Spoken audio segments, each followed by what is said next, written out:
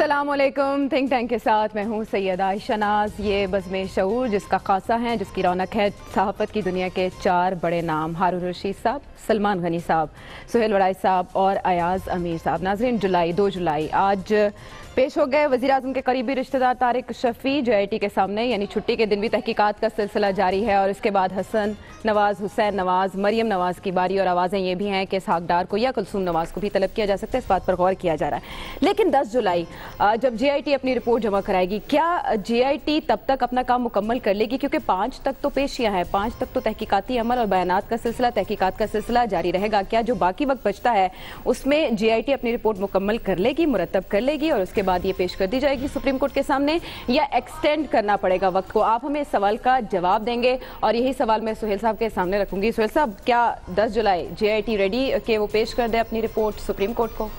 मुझे यूँ लगता है कि वो जो मुकर्रा तारीख है 10 जुलाई उस तक कर देंगे। अच्छा। उसकी वजह यह है कि अब तक जितनी डेड डेडलाइंस उन्होंने खुद मुकर की थी और सुप्रीम कोर्ट ने उन्हें कहा था उसके मुताबिक वो जा रहे हैं।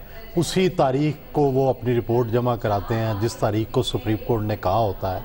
और दूसरा इसका एक और जो पहलू है सियासी और समाजी कि इतनी देर तक पाकिस्तान में इस मामले को बहुत देर तक चलाना मुल्क की खारजी सूरत हाल और दाखिली सूरत हाल दोनों के लिए भी ठीक नहीं है। जितना लंबा होता जाएगा उतना बहरान जो है वो बढ़ता जाएगा। अच्छा। इसलिए जो भी होना है और जे ने क्योंकि बड़ी छुट्टियाँ भी नहीं की इतवार वाले दिन भी उन्होंने काम जारी रखा है। हम्म। ईद के दिन भी सिर्फ़ एक छुट्टी की है। तो ऐसे लगता है कि वो 10 जुलाई का जो टारगेट है उस तक अचीव कर लेंगे। और अगर एक दो दिन की उन्होंने छूट मांगी भी तो मेरा ख्याल है वो समझ आती है कि इतनी बढ़िया मामला है। लेकिन ये कोई जिन लोगों का ये ख्याल है कि ये बहुत कोई लंबा चलेगा मेरा नहीं ख्याल कि ये अपनी हद के मुताबिक ही रहेंगे। तो हारून साहब सिर्फ़ बयान तक सिलसिला महदूद नहीं तहकीकात भी तो ज़ाहिर है जे का भी काम है। तो आपको भी ये लगता है कि जेआईटी काम 10 जुलाई तक मुकम्मल करके ज़्यादा वक्त नहीं लेगी? का काम तहकीकात है नहीं। बिल्कुल इसको मिस इंटरप्रेट किया जा रहा है उनका काम यह है कि सारे लोगों के साथ वो बात कर लें और उनकी गवाहियाँ प्रॉपरली रिकॉर्ड कर लें और उससे जो नतज अगज करें वो चंद पैराग्राफ में लिख दें जो मेरी कॉमन सेंस ये कहती है। दबाव उन पर बहुत शदीद है। कभी किसी मुकदमे में ऐसा दबाव तफ्तीश करने वालों पर आया नहीं है। वो तो नवाज़ शरीफ एंड कंपनी को साबित करना है ना कि वो मनी ट्रेल तो उन्होंने साबित करनी उन्होंने तो नहीं करनी। अच्छा। इन्होंने तो ये बताना है कि साबित हो रही है या नहीं साबित हो रही। देखिए ये ऐसा हौलनाक माफिया है शरीफ खानदान। हज़ारों आदमी इनके रहम करम पे आज इतनी एक गंदी गलीज डल्टी इससे ज़्यादा सख्त लफ्ज भी अगर कोई हो तो मुझे इस्तेमाल करना चाहिए खबर छपी हुई है। कौन रिपोर्टर लिख रहा है? ये मेरा लिखा हुआ चेक है। मैं बैंक वालों से कहता हूँ ये मेरा चेक है। ठीक है? या रजिस्ट्री पर मेरे दस्तखत हैं। कोई का जज ये मुझे इस हक से महरूम नहीं कर सकता अगर मैं किसी सिग्नेचर को ऑन करूँ। ये मेरा कालम अखबार में छपता है। मैं चाहे किसी को लिखवा दूँ या किसी का लिखा हुआ नकल कर दूँ, वो मेरा कालम है। कौन लिखता है रिपोर्टें जी? ये बीसवें, इक्कीसवें ग्रेड के अफसर इस काबिल नहीं है कि रिपोर्टर लिख सकें। और ये चूजे हैं, ये चपरासी हैं जिनको कोई लिख के दे देगा और कहेगा, अब आठवें सफे पे दस्खत कर दे। इनमें से एक अफसर नहीं जिसका कोई स्कैंडल हो। एक अफसर नहीं इनमें से जिसका कोई स्कैंडल बड़ी शर्मनाक दबाव इन पर डाला गया है। बहुत इन्हें तंग किया। मैं ये नहीं कह रहा कि इस पर एतराज़ ना किया जाए जीआईटी पे। एतराज़ हो सकता है, तस्वीर ली कोई एतराज़ करना चाहिए। और कोई चीज़ हो एतराज़ करना चाहिए, उनके अंदाजे कार में कोई फ़र्क हो। मगर ये पढ़े लिखे समझदार लोग हैं। एक सादा मेथड के साथ दसवीं तक ये मेहनत तो करनी पड़ेगी दस जुलाई तक अपना काम मुकम्मल कर सकते हैं। कर सकते लेकिन अगर ज़रूरत हो हम्म। और उनके पास कोई दलायल हो अदालत से दो चार दिन की मोहलत वो मांगे तो उसको देने देने में कोई हर्ज नहीं है। हम्म। कोई ततिम्मा लिखा जा सकता है। कोई अदाफी नोट तभी लिखा जा सकता है उन्हें कंक्लूजन ड्रा करना है। मेरा ख्याल है वो कर लेंगे। अच्छा अया साहब साथ साथ जेआईटी अपनी रिपोर्ट जो मुरतब करके पंद्रह पंद्रह दिन के बाद सुप्रीम कोर्ट के रूबरू पेश कर रही है उसके बाद तो कम है इम्कान इस बात के कि मजीद वक्त लिया जाए? देखिए एक पूरे ख्वाहिशात की फैक्ट्री जो है वो उभर के बनी है। जो ये ऐसे वसवसों का सहारा ले रहे हैं कि क्या पता रिपोर्ट वो अपनी मुकम्मल ना कर सकें। क्या कोई और हादसा हो और ये 10 जुलाई की बला जो है वो टल जाए? पर ऐसे लगता नहीं है, क्योंकि उसकी एक बड़ी वाज वजह यह है कि या तो सुप्रीम कोर्ट की पेशी के बाद जो ये दबाव में आया हुआ, इस नरगे में फंसा हुआ हुक्मरान ख़ानदान है, कोई नई चीज़ें पेश कर सकता। कतरी ख़त तो खातर में लाया नहीं गया। ना वो शहजादे साहब यहाँ पे आए ना वो ये क्यों तरद उनका जाने का ब, ब, जो गवाहान होते हैं वो आपका काम होता है पेश करना आता है या नहीं आता। आ, जो ब, अदालत तो नहीं गवाहों के पीछे भागती कि जी उस गवाह को आप ले आए तो ये पेश नहीं कर सके। जब कहानी वही है आ, पात के वही दो पत्ते हैं कुछ उसमें इजाफा नहीं है तो उसमें उन्होंने करना क्या? वो तो सिर्फ़ इनको बार बार बुला रहे हैं क्योंकि एक केस जो है एक वो बन चुका है तासुर यही है कि हाँ भाई कोई इसमें सफ़ाई आप दे सकते हैं या नहीं दे सकते? सफ़ाई उनकी तरफ़ से पेश नहीं हुई। दबाव डालने की बड़ी संगीन कोशिश शुरू में की गई थी वो तमाम की तमाम नाकाम हो गई। Right. जो पहले जो एक वो मंजर कशने की कोशिशें की जाती थी जुडिशल एकेडमी के सामने वो भी दम तोड़ गई। अब तो ये इन बयान पे आ गए हैं ये जो ख्वाजा सात रफीक के बयान हैं और इस किस्म के बयान हैं। तो ये 10 जुलाई जो है लगता ये है ये लगता है कि जैसे 5 जुलाई 5 जुलाई 1977 वो उस वक्त की हुक्मरान जमात वज़ीर आज़म और पाकिस्तान पे भारी गुजरी। 10 जो जुलाई जो है ये मौजूदा जो फंसा हुआ खानदान है इस पे भारी तो पाँच जुलाई को तो कुछ नहीं होगा कोई शरारत वगैरह नहीं होगी आया साहब है जी? पाँच जुलाई को कोई शरारत वगैरह तो नहीं होगी मरियम नवाज़ पेश होने जा रही है और बात की जा रही है शरारत का अगर शरारत की अगर गुंजाइश होती तो सिर्फ़ शरारत नहीं शरारतें हो चुकी होती। इसमें इनकी बेबसी का आलम ही ये है कि असरअंदाज नहीं हो पाए। नहीं तो उन्नीस सौ सतानवे की तारीख दोहराना कौन सा मुश्किल था? पंजाब हाउस में चने शनों का एहतमाम होता हलवा पूड़ी का लाहौरी नाश्ते का। तो... जब सुप्रीम कोर्ट इनके आगे नहीं ठहर सकी हम्म। तब के चीफ जस्टिस को अपना वो रोप करके भागना पड़ा था तो ये बेचारे तो आप कह रहे नहीं जा रहा ये जो है ये ये तमाम कोशिशें नाकाम हो चुकी हैं। बेबसी का आलम जो है अब उसका इजहार मुख्तलिफ़ बुजरा की जबानों में से हो रहा है। यही वजह है बेबस है इतना हुक्मरान खानदान के नाहली समझ चुका है अपनी। शेख रशीद कह रहे हैं पता चल गया हुक्मरान खानदान को नाहल होने वाले हैं। देखिए आयशा एक तो बात 10 जुलाई की बला टलने वाली नहीं है। ये बात की गई है। देखिए 10 जुलाई को कोई बला वाला सवाल नहीं है। अभी ये बात दुरुस्त की गई है कि उनको एक काम दिया है सुप्रीम कोर्ट ने। और सुप्रीम कोर्ट ने कहा है कि हम उनके पीछे खड़े हैं। ये बात भी दुरुस्त है कि उन्होंने तहकीकात नहीं करनी, उन्होंने शवाहत जमा करने थे और अपनी सिफारशात लिख के देनी थी। लेकिन जिस बात का ज़िक्र अभी हारून साहब ने किया है, ये वाकई जिस रिपोर्ट की बात कर रहे हैं बड़ी डर्टी रिपोर्ट है। मेरा ख्याल है कि पहले तो ए, पहले ही जे आई की साख के बारे में बहुत सारे सवालिया निशानात थे। उस रिपोर्टर ने बड़ी ज्यादती की है।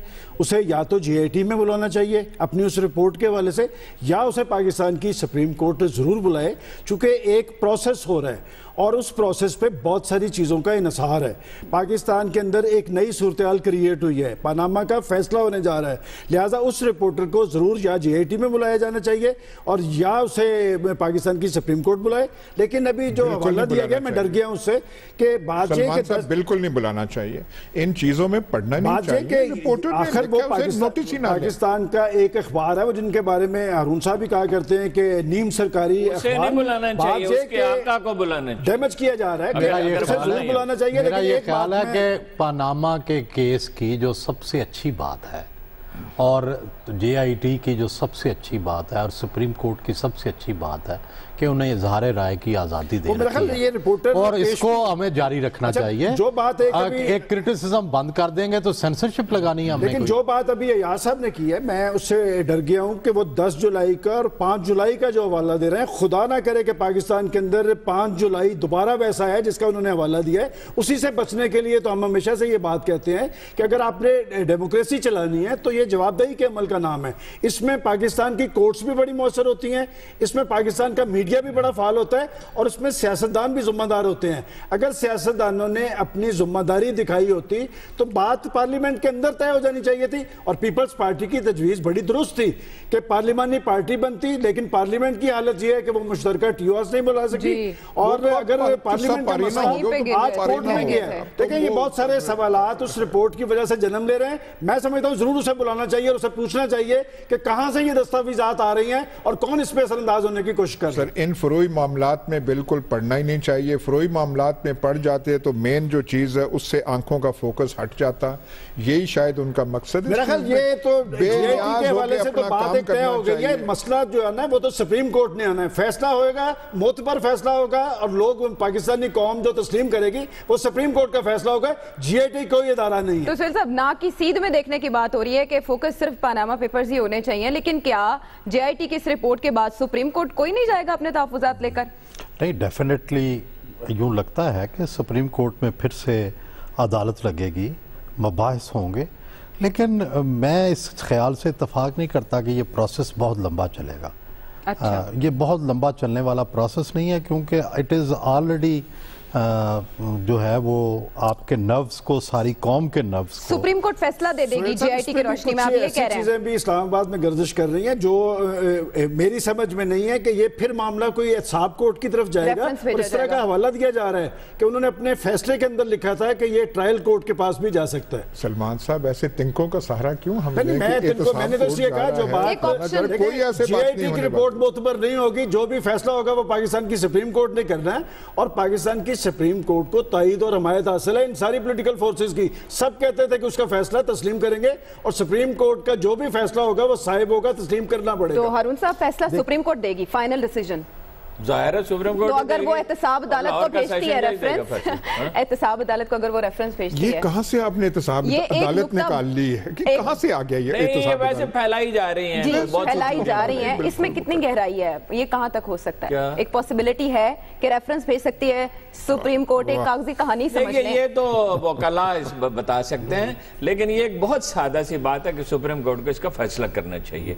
वही मजाज अदालत है। अगर वो यही फैसला नहीं कर सकती तो फिर वो किस चीज़ की सुप्रीम कोर्ट? और अगर बाकी हुकूमत ये बात। अच्छा फैसला जो देखे ना वो ला, लाजवाल वो क्या अल्फाज कहेंगे कि पप्पू दो पर्चों में फेल फेल। तीन में कंपार्ट। जी। तो फैसला वो है एक आध पेपर का वो फैसला होना बाकी तो सारा कुछ फैसला लिखा हुआ है और क्या होना है हारून साहब की बात नामुकम्मल। फैसला इस चीज़ पे होना है कि पैसे ये माल हराम है या हलाल है। टैक्स दिया गया है नहीं दिया गया। दिखाए गए हैं ये नहीं दिखाए गए। गोशवारों में थे ये ये ये नहीं, थे। बस ये- सुप्रीम कोर्ट ये भी फैसला होना चाहिए। ये भी बाकी चीज़ें जो है ना बाकी छेड़ी गई है जमहूरियत खतरे में है। जमहूरियत खतरे में है। जमहूरियत किस तरह खतरे में है? जमहूरियत पे तो सियासतदान की नलायकी की वजह से खतरे में पड़ेगी या कोई जनरल महमजोई पे तैयार हो तब खतरे में पड़ेगी। इस मुकदमे का क्या ताल्लुक जमहूरियत के साथ है? इस मुकदमे का एक चीज़ से ताल्लुक है। और वो इतना कतई उसूल है कि उसमें कोई डिसएग्री नहीं कर सकता और वो अल्लाह के रसूल ने उसको बेहतरीन अल्फाज में बयान किया कि कोई कौम जो अपने ताकतवरों को सजा नहीं देती और सिर्फ़ कमजोरों को देती है वो तबाह हो जाएगी। अगर वो कसूरवार है तो उन्हें सजा बिल्कुल ठीक है। बिल्कुल फैसला भी होगा की बुनियाद मैं नहीं हारून साहब के हम आवाज़ होकर बिल्कुल हमें भी सुप्रीम कोर्ट के फैसले का इंतज़ार है और अयाज अमीर साहब की तरह हमें भी उम्मीद है कि इंसाफ होगा। लेकिन एक मेरे दिल में बात जो है वो कांटे की तरह खटकती है कि हम लोग सोसाइटी के जो बाकी लोग, जिन्होंने नवाज़ शरीफ को इकतदार में लेके आए, जिन्होंने नवाज़ शरीफ के रास्ते के कांटे चुने, उसके लिए राह हमवार की, उसके हक में फैसले लिखे, उसके हक में तहरीरें लिखी, उसके हक में कालम लिखे, उसको दुनिया का बेहतरीन आदमी साबित किया, कोई इनकी भी इखलाकी सजा होनी चाहिए।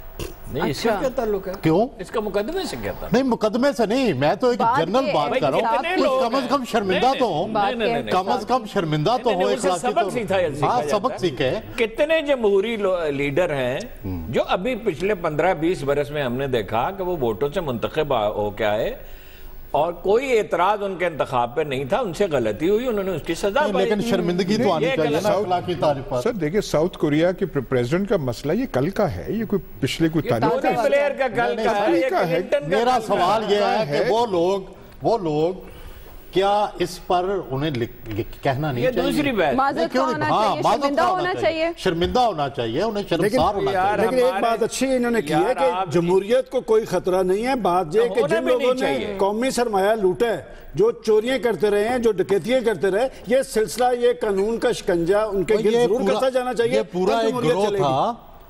पूरा एक ग्रोह होता है कोई एक बंदा नहीं होता। तक वसी होना चाहिए ये कोई एक बंदा नहीं होता कि भाई आपने एक बंदे को मिसाल बना दिया तो बाकी सारे जो है वो छूट गए। मतलब है कि आप हर आप हर वो दलील को सामने लाएँ जिससे केस का फोकस जो है वो धुंधला अच्छा, हो। मतलब कमाल की बात है हर दफ़ा कमाल अच्छा, कमाल। अच्छा, केस का फोकस धुंधला हो जाए? फोकस की तरफ़ उसमें आ अयाज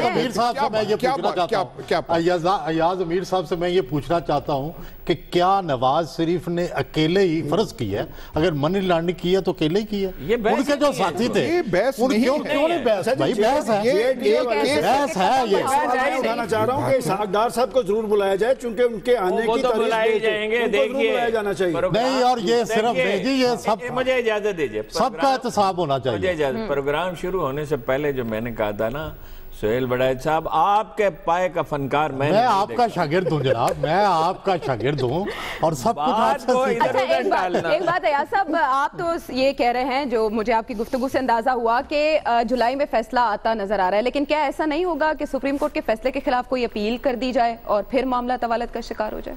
देखिए या फौरी मान लिया जो जाए? इकदाम होने हैं उनसे हम इतने झुंझला क्यों रहे हैं? पहली चीज़ है 10 जुलाई को जेआईटी ने अपना वो जो है रिपोर्ट। रिपोर्ट मुरतब करनी है। सुप्रीम कोर्ट ने एक बार से ज़्यादा कहा है कि हम कोई मजीद गुंजाइश नहीं देंगे। नहीं देंगे।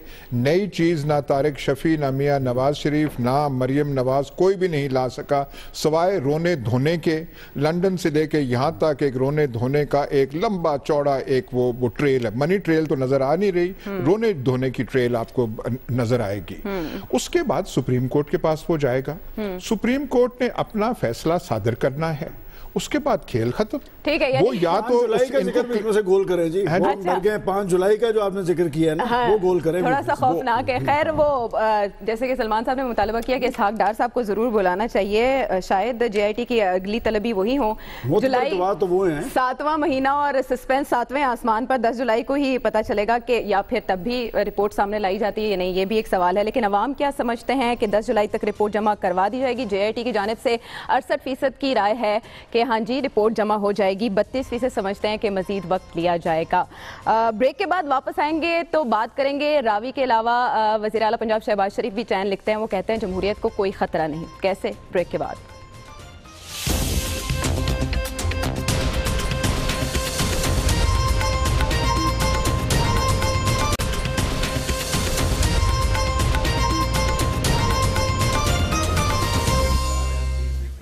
थिंक टैंक का साथ देने का शुक्रिया।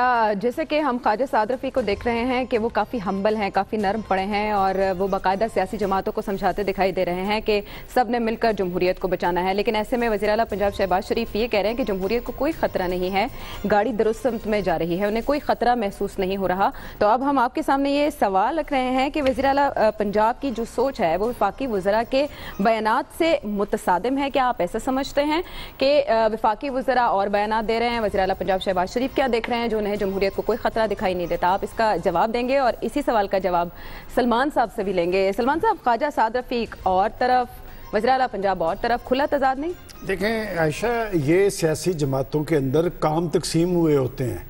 कि पॉलिटिकल पार्टीज़ पे और ख़ास तौर पे सियासी महाज पे कोई सेंट्रल फॉरवर्ड सियासी जमातें तो तकसीम नहीं हुई होती। देखिए शहबाज शरीफ साहब के बारे में मैं पहले भी आपके प्रोग्राम में कह चुका हूँ कि उनके इस्टेब्लिशमेंट से हमेशा अच्छे तलकात रहे हैं।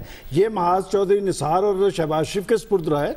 ख्वाजा आसिफ है ख्वाजा साद रफीक है और बहुत से लोग हैं। और मैं आपको बताऊँ देखिए जब ख्वाजा साद रफीक बोल रहे होते हैं आप उन्हें कह रहे हैं कि वो समझाते नज़र आ रहे हैं। नहीं ऐसी बात नहीं। लाहौर उनकी सियासत का मेवर है। वो लाहौर के अंदर एक्टिव हुए हैं। लाहौर बुनियाद है। और है कि वो अपने सियासी कारकुनों को फाल बना रहे हैं। उन्हें कोई असाइनमेंट पार्टी ने दी है। और मैं समझता हूँ कि इस तरह की सूरत हाल में उन्हें आने वाले हालात और आने वाले इंतबात के अंदर अपने वर्कर्स को फाल बनाना है। लिहाजा ये होता है, रात मुझे तहरीक इंसाफ के एक जुम्मेदार लीडर का फ़ोन आया और उसने, मैं हैरान हुआ उनकी बात सुन के, उन्होंने कहा, जी कि हम अपने इंतबात के हवाले से संजीदा हैं। हम इंतबात पर काम कर रहे हैं और हमारे ही असाइनमेंट ये है कि हमने फोर फ्रंट पर नहीं खेलना। हम अपने अपने जो इंतबी हल्के हैं, वहाँ से उम्मीदवारों का चुनाव कर रहे हैं और इस पर हम काम कर रहे हैं। लिहाजा मैं समझता हूँ कि काम एक ही है और उन्हें अलग अलग असाइनमेंट दी गई हैं। देखें, नुकसान होगा तो सबको होगा, ये नहीं हो सकता। और शहबाज शरीफ साहब पाकिस्तान के सबसे बड़े सूबे के चीफ मिनिस्टर हैं। उनकी बात की अपनी एक अहमियत है। साद रफीक साहब तो खुद कहते हैं कि मैं सियासी कारकुन हूँ और साद रफीक साहब जो स्टूडेंट लीडर होता है वो हमेशा इसी तरह के बयान देता है और लिहाजा वो अपनी पार्टी ने जो जो उनकी ड्यूटी लगाई है वो पूरी साहब वो अपने कारकुनों को कह रहे हैं कि हम गिरे तो आप भी गिरेंगे। एक तो मैं सिर्फ़ ये पूछना चाहता हूँ आपने कल भी कहा था इनसे ये आपने ये मंसूब किया था कि वो बड़े हम्बल हैं वो ह्यूमिलिटी नहीं इससे पहले वो बहुत जोरदार बयान देते थे कि लोहे के चने हैं। गुजारिश तो सुने। चबाने आसान नहीं। मुझे आपका ह्यूमिलिटी का पैमाना ख्वाजा साद रफीक है। वो जो आप कह रहे हैं कि कल बहुत अच्छा ईशा ने दिया कि वो पहले कहते थे कि मैं हम लोहे के चने हैं जिन्हें कोई चबा, चबा नहीं सकता। अब वो थोड़ा सा चेंज हुए ये नुकता है।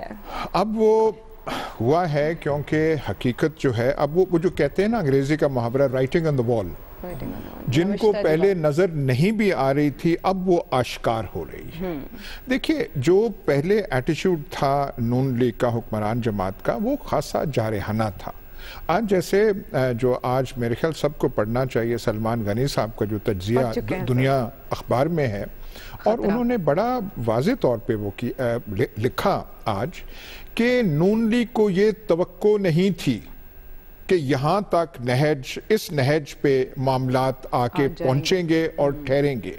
उनका था उन्होंने सारा वो एक तरतीब दी, दी है शायद वो कई जहनों से तरतीब उतर गई हो लेकिन इसलिए मैं कहता हूँ कि आजकल की सूरत हाल को समझने के लिए इनका आज का तजिया पढ़ लिया जाए जिसमें उन्होंने कहा कि इनको नहीं और जब वो कहा ये जो बार बार कहते हैं कि पार्लियामेंट में टी करने चाहिए थे। नहीं हुए ना। वो वक्त गुजर गया। अब वो पानी गुजर चुका। इनको ख्याल था। हम यहाँ बैठे थे जब वो सुप्रीम कोर्ट का फैसला आया था तीन दो का। हम उसे सही तरह भांप नहीं सके थे। हमारे सामने तहरीर नहीं थी। लेकिन हमने यही कहा कि शायद इनकी फतह होगी। तीन से ये सुरखरू हुए हैं। दो से नहीं है। वो बाद में थोड़ी देर बाद जब वो फैसला आया तो तब हमें पता चला। हम्म। और ये बात जो है, हम आपस में बात कर चुके हैं कि जेआईटी जब बनी तो उससे पहले किसका ख्याल था? जो जो आज सलमान साहब ने लिखा है बड़े वाज तौर पे कि यहाँ तक वो चीज़ होगी कि साहिबजादगान भी और मरियम नवाज़ भी और वज़ीर आज़म भी आ, खुशी नाखुशी उनको जाना पड़ेगा। ये नून लीग की तो के बाहर है ये सारी चीज़ें खिला चुके हैं। तो अब साद रफीक जैसे जो जो है कारकुन उनकी बड़ी समझ है बड़ा एक्सपीरियंस है कि वो पहले के हम चने ये करेंगे चनों को इन दांतों से हम खाएँगे अपनी जगह। अब वो समझ आए तो अब वो दूसरी पे वो जो दूसरी चीज़ पे वो जो आगे हैं हम्म। जो हमारे जमहूरियत के परवाने कई अरसे से कह रहे थे कि जमहूरियत को सियासी जमातों को जमहूरियत को अच्छा, अब वहाँ से हट के वो जमहूरियत का खतरा जो है और हम गए तो फिर इमरान खान तुम्हारा भी कुछ नहीं बनेगा। वो अब उस दलील पे आ अच्छा हरून साहब जैसे सलमान साहब कह रहे हैं कि शहबाज शरीफ एस्टेब्लिशमेंट के ज़्यादा करीब हैं तो मतलब शहबाज शरीफ कुछ महसूस नहीं कर रहे फजा में। उनके लिए सब खैर है? पीएमएलएन के लिए सब खैर है? नहीं ये हो सकता है। पॉसिबिलिटीज हैं वैसे तो शहबाज शरीफ साहब को पता नहीं होता कहाँ से बोल रहे हैं। बाद वो कहना, कुछ चाहते हैं, कुछ और भी कहते हैं। ये हो पॉसिबिलिटी है कि उन्हें पार्टी की तरफ़ से ये ज़िम्मेदारी दी गई हो, फौज से रबता रखने की। वैसे तो नवाज़ शरीफ साहब का अपना भी रबता है, और मुझे मालूम है किन साहब से उनका रबता है, जो पैगाम लाते ले जाते हैं मिलिट्री लीडरशिप के साथ। लेकिन शहबाज शरीफ साहब के दिल में वज़ीर आज़म बनने की आरज़ू हमेशा रही है। अच्छा इसलिए और एक पीर साहब के पास भी गए थे कभी आपको तफसील बता दूँगा ताबीज लेने के लिए कि वो वज़ीर आज ही बता दें आज ही बता दें। बता दें। एक जरदारी साहब के भी पीर हैं और आप शहबाज शरीफ साहब के भी पीर हैं। जी हयात है। नाम वाम भी सारे बता दूँगा इस वक्त नाम मुझे याद नहीं है और तारीख भी बता दूँगा कि किस जमाने में गए थे। तो ये इस्टेब्लिशमेंट से अपने ताल्लुक जनरलों से अच्छे रखना चाहते हैं। इनका नुकता अंदाज फ़िक्र फ़ौज के मामले में अपने भाई से मुख्तलिफ़। अच्छा सोहेल साहब फिर तो रद्दबला के लिए वजी अजम नवाज़ शरीफ को भी पीर के पास ही जाना चाहिए। अच्छा सवाल जो आपसे मैं करना चाह रही हूँ कि तकसीम की बात की रहा है तकसीम है या जिम्मेदारियाँ तकसीम है मुस्लिम जादूगरों के पास भी गए हैं? अच्छा। राय जो जिम्मेदारियाँ हैं वो पीएमएलएन में तकसीम है पार्टी में तकसीम है। और सवाल मैंने सलमान साहब से किया था कि क्या पार्टी भी तकसीम है जिसको वो गोल करके जवाब नहीं दिया? आप बताएँ फाख्ताओं की और रुकाबों की बात की जाती है।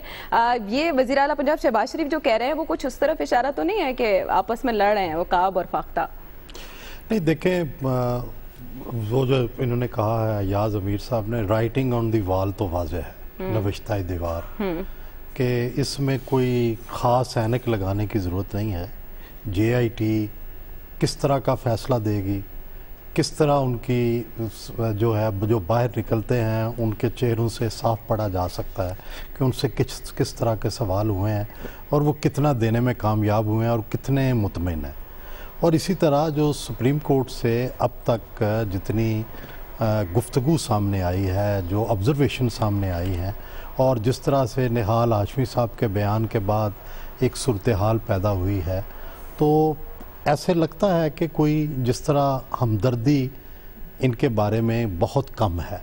और बतौर एक सियासी मुबसर के मुझे अदालत के फ़ैसलों का तो ज़ाहिर इल्म नहीं, ना जे आई टी तक मेरी एक्सेस है।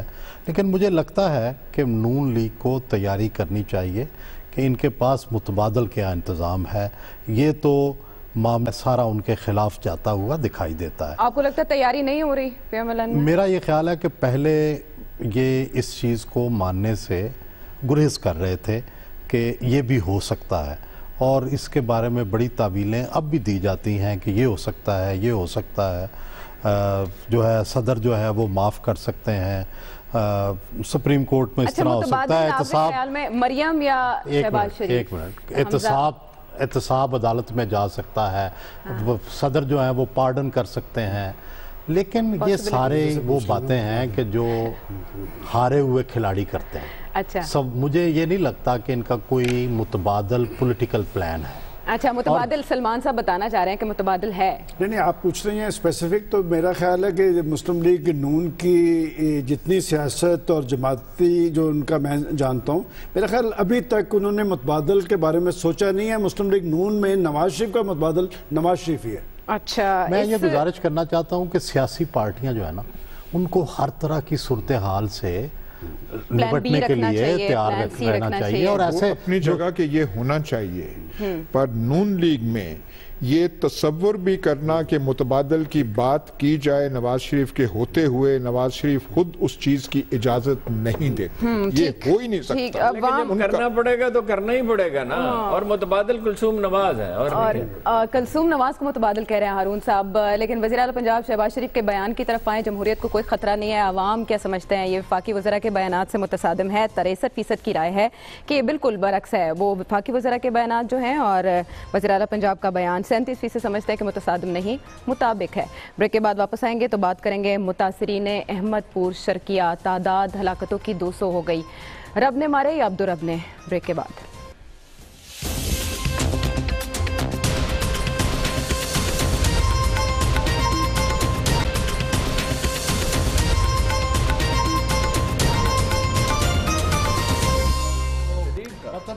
थिंक टैंक का साथ देने का शुक्रिया।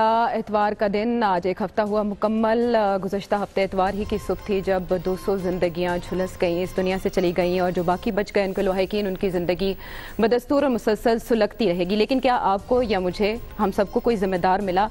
इस सवाल का जवाब हम ढूंढेंगे और सवाल यह है कि इतनी बड़ी तादाद में अमवात की जिम्मेदार क्या है? गुर्बत गफलत या लालच, ये डिस्कस किया जा रहा है सवाल। ज़ाहिर है शूर की कमी भी इसका एक जुज़ है। यही सवाल मैं अपने माहरीन के सामने रखूँगी। इस वजह सब मतलियाँ होंगी, कुछ वही मसनू बयान दिए जाएँगे। लेकिन क्या ये जाने वाले वापस आएँगे या आंदा के लिए इंसान हाथ का तदारक हो पाएगा? कोई ऐसा सिस्टम मेकनिज़म वजह किया गया है? सबसे अफसोस की बात यह है कि हम इनसे कोई सबक नहीं सीखते। और होना दुनिया जो है बाकी दुनिया जो तरक्की याफ्ता दुनिया है वहाँ भी हादसा हो जाते हैं। लेकिन वो हर हादसे से सबक सीख के आइंदा उन हादसा को रोकने की कोशिश करते हैं। हमारी बदकिस्मती ये है कि आपको याद होगा कि ये पहाड़ों पे मोटरवे पे एक गाड़ी जो थी स्कूल थी। की बच्चों की गाड़ी थी। 2011 में। तो अब उसका अंजाम पता क्या हुआ? जी। अंजाम ये हुआ कि उस जो स्कूल वाला था जो स्कूल का मालिक था हेडमास्टर था उसको तो कई साल के लिए अंदर बंद रखा गया। बस वाले को छोड़ दिया गया। वो जिन्होंने बस पास की थी उसको छोड़ दिया गया। ड्राइवर को छोड़ दिया गया मालक को छोड़ दिया गया और स्कूल का जो प्रिंसिपल था उसका स्कूल बंद कर दिया गया। ढाई साल तक स्कूल बंद रखा गया। अब अगर यही तरीका है गवर्नेंस का यही तरीका है आइंदा से हादसा रोकने का तो रुक गए क्या? नहीं रुकेंगे ना। यही बात है ना यही तो क्या गुजारिश इस से रुक गए हादसा ये अभी नॉर्वे में इसी तरह का टैंकर का हादसा पेश आया और वो एक टक्कर एक कार से लगी और एक फैमिली के तीन बंदे जो हैं उनकी डेथ हो गई। तो उन्होंने टैंकर की सारी जो मैकेनिज्म थी उस पर गौर किया कि किस तरह से ये हादसा कम किए जा सकते हैं किस तरह वो स्लिप हो जाता है किस तरह से उसको रोका जा सकता है। गवर्नमेंट के और प्राइवेट लोगों के हज़ारों डॉलर लगे उस टेक्नोलॉजी पे लाखों डॉलर लगे लेकिन उन्होंने वो अडॉप्ट की। ठीक। तो सवाल ये है कि क्या कौमी सतह पर हम हिलते हैं? कोई तदारक करते हैं कोई पॉलिसी बनाते हैं। कुछ भी नहीं हुआ। कंपनी से नहीं पूछा तो, तो ये ये अफसोस की बात है कि हम उस वक्त तो बड़े गमजदा होते हैं बहुत दुख का इजहार करते हैं रोते हैं ये और सबको जिम्मेदार करार देते हैं। जी। लेकिन तदारक कोई नहीं और अगले कोई हादसे के लिए पॉलिसी नहीं। होते नहीं पर इसमें देखिए वहाँ जो बड़ी जो बात हुई थी जब टैंकर गया और वो पेट्रोल निकल रहा था तो लोग भागे। आधा लीटर एक लीटर पेट्रोल लेने के उनके लिए। वहमो गुमान में भी नहीं था नहीं वो बात नहीं मौत कहाँ खड़ी? वो बात नहीं है। जी। आप मेन वो गए क्यों? कि वो एक लीटर पेट्रोल को समझ रहे थे कि पता नहीं क्या होगा। कितने दिन गुजारा हो तो उसमें गुर्बत का हाथ कोई नहीं है। ये हमारे सामने आँखों का नहीं है कि दो पाकिस्तान है। एक सौखा पाकिस्तान है एक अक्सरियत के लिए है। आप पाकिस्तान को छोड़ें। आपका जो शहर है लाहौर जो है एक अमीरों का शहर है एक गरीबों का शहर ही। है जिस जिस जिस बेदर्दी से जिस बेदर्दी से यहाँ पे डेवलपमेंट का जो प्रायोरिटीज होती हैं आपके लाहौर शहर में कितने अगर वहाँ वहाँ वाला हादसा यहाँ पे होता आपके बर्न पेशेंट्स के लिए लाहौर शहर में कितने बेड्स हैं? लेकिन आज आपकी दुनिया अखबार की रिपोर्ट है कि यहाँ पे साढ़े तीन लाख आबादी लाहौर में उसके लिए एक बर्न बेड है। उस तनासब से। हाँ। ये है। यहाँ पे ये आप बना रहे हैं जो आपको बुनियादी चीज़ें करनी चाहिए ना उसकी सोच है किसी को ना वो हारून है गवर्नेंस के ढंडोरे हुकूमत आपने इश्तिहारों के बल पे करनी हो तो फिर यही तरजीह नहीं है ना। वजी अला पंजाब कहते हैं कि जो हम पे तनकीद कर रहे हैं वन यूनिट नहीं है उनके सूबे में भी नहीं है। हारून साहब इकबाल पाकिस्तान है के बाद दस अस्पतालों को दौड़ाए गए थे जख्मी। अस्पतालों का ना होना भी एक बड़ी वजह है अमवात की जो इतनी तादाद में इजाफा हुआ। नहीं नहीं अस्पतालों को तो बाद में आए ना जो जब जल मरे तो वो तो उसमें अस्पताल में क्या हो सकता था? बा- बाकी जो थे वो नहीं बचाए। देखिए दो चीज़ें होती हैं एक महजब माशरे में दो चीज़ें इसकी बुनियाद है। एक ये कि हुकूमत कानून नाफज करने का पूरा आज़म रखती हो और उसका इंफ्रास्ट्रक्चर बनाए। इंफ्रास्ट्रक्चर दूसरा यह है कि माशरे को महजब किया जाता है तालीम और तरबियत के ज़रिए। कानून का खौफ भी पैदा किया जाता है और लोगों को सिखाया जाता है कि किस तरह की सूरत हाल में उन्हें किस तरह एक्ट करना एक्ट चाहिए। करना जब रसूल्ला ने यह कहा था कि एक औरत एक कोने से दूसरे कोने तक सोना उछालती हुई चली जाएगी और उसे कोई अंदेशा नहीं होगा तो वो किस बुनियाद पर कहा था? उन्होंने लोगों को ट्रेंड किया था कानून के एहतराम के लिए और खल के खुदा को महजब किया था। देखिए जब जनाब इमाम हसन दस्तबरदार हुए खिलाफत से तो पहला काम अमीर माविया ने क्या किया कि पुलिस को रीऑर्गेनाइज किया। कानून को हुकूमतों ने नाफिज करना होता है। ब्यूरोक्रेसी को तो आपने मार डाला है तो डिमोटिवेट कर दिया। ठीक है? वो अपने फरायज अदा करने के लिए तैयार ही नहीं है और लोगों को कुछ सिखाया देखिए, नहीं गया ये एक प्रोसेस है। महज एक जज्बा नहीं है। ये एक मैकेनिज्म है। जहालत और पसमानदगी का ज़िक्र किया है ये इस नहज पे क्यों है? और बात के बैसीत मजमू बात बड़ी तलख है। कि हमारा इज्तमाही किरदार ही है कि हम मुर्दार खाने इससे के हम- हैं। इससे हम और ये जिस लालच की आपने बात की है आपने अहमदपुर शर्किया में पेट्रोल उठाने वालों की तो बात की है यहाँ हमारी शादियों में क्या होता है? यहाँ हमारे सियासी इज्तमात में जब खाना खुलता है तो माएँ बच्चे संभालती हैं। जनाब तो हमारा इज्तमाही किरदार यही कर है। रहे हैं। तो यही मैंने पेट्रोल के वो डोल भर रहे खान के वहाँ पर भी यही है जी। मसला ये है कि हमारा इज्तमाही किरदार ही ये हो गया है कि एक खतर पड़ा हुआ है और एक भेड़ चाल शुरू है जिसपे सारा उसका शिकार है। और मैं समझता हूँ कि ये सबके लिए लम्हा फिक्री है। तो मेरे एनालिस्ट का ये मानना है कि पूरा निज़ाम ही कातिल है दो सौ जिंदगियों का। और आज भी अफसोसनाक वाक़ हेड मोहम्मद वाला में पेश आया, जहाँ वैन में आग लगने से छः अफराद जाम बहक हुए हैं, चौबीस झुलसे हैं, जख्मी हैं। आवाम की क्या राय है इस बारे में? गफलत को बीस फ़ीसद जिम्मेदार करार देते हैं, लालच पचास फ़ीसद की नज़र में जिम्मेदार है, इस सानहे की, जबकि तीस फ़ीसद ये समझते हैं कि गुर्बत इसके जिम्मेदार है। प्रोग्राम का वक्त खत्म हो जाता है, आपके फीडबैक का इंतज़ार रहेगा। अगले प्रोग्राम तक के लिए अल्लाह ने के बान।